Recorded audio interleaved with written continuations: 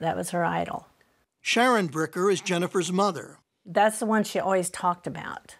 Constantly, she talked about Dominique and how much she'd love to do gymnastics like she does. There was just one problem Jennifer was born without legs, a devastating birth defect that had led her natural parents to abandon her the day she was born. You said, I want to be a tumbler.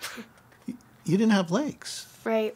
You kind of need those, most people think, to, to tumble. well, think again. The girl who wasn't allowed to say can't was on her way to becoming a genuine gymnastics champion.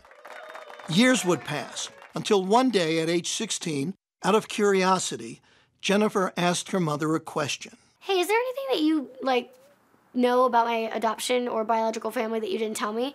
W- what did your mother say? She was like, Well, actually, there is. I said, Okay, but you got to sit down. And she said, Mom, I'm always sitting. And she said, Maybe you should sit down. I said, Okay, let me sit down. And she said, Well, what's the big deal? Just tell me what my last name is. And I said, Well, that's the big deal. And she said, What do you mean? And I said, Your last name would have been Moceanu. And I knew, I know, I knew automatically what that meant. I knew what that meant. I knew that Dominique Moceanu was my biological sister.